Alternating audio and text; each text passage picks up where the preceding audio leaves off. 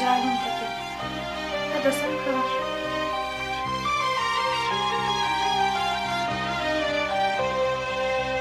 Derdine yandım Kınama beni Aşık sevdiğim Peki iki üç sene sonra diyelim. Bu kız tekrar hamile kaldı. Hani olmaz da oldu ya.